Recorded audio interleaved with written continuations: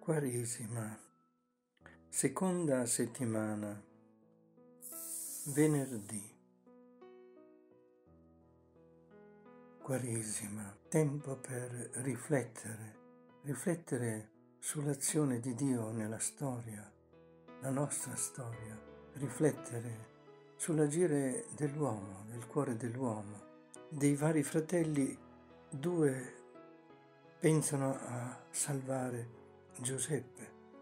Il primo è Ruben e suggerisce di non spangere il sangue, magari gettarlo in questa cisterna nel deserto.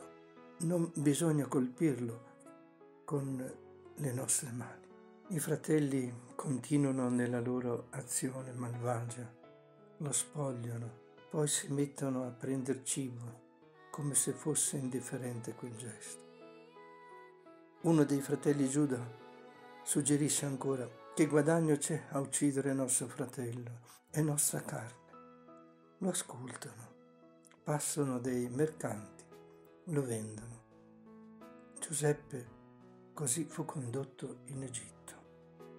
L'uomo pensa a tramare, Dio guarda molto più lontano per la vita con quel giovane Giuseppe salverà tutto Israele.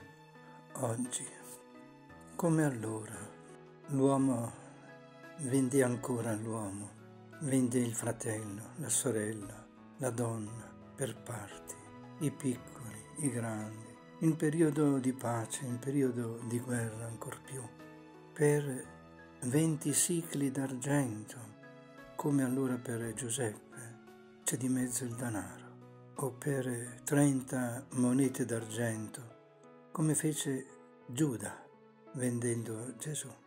Ma chi è venduto in ogni fratello e sorella è sempre Gesù. Ecco il cuore di Dio. Dio ha tanto amato il mondo da dare il figlio unigenito. Il cuore di Dio è tutto amore. Gesù nel Vangelo, il Vangelo di Matteo, parla all'uomo, parla ai capi, i capi dei sacerdoti, agli anziani del popolo, dovrebbero intendere meglio per insegnare, formare. È un riepilogo della storia di Israele in questa parabola. Gesù inizia dicendo, ascoltate, storia di Israele, storia del mondo, è la storia nostra. I delitti sono i nostri peccati. Ascoltate. Ma chi sono gli altri? quelli che riceveranno il regno al posto di chi non ha corrisposto sono coloro che sono capaci di riamare Dio. Maria è il modello supremo, è tutta nel suo sì, un sì per la vita.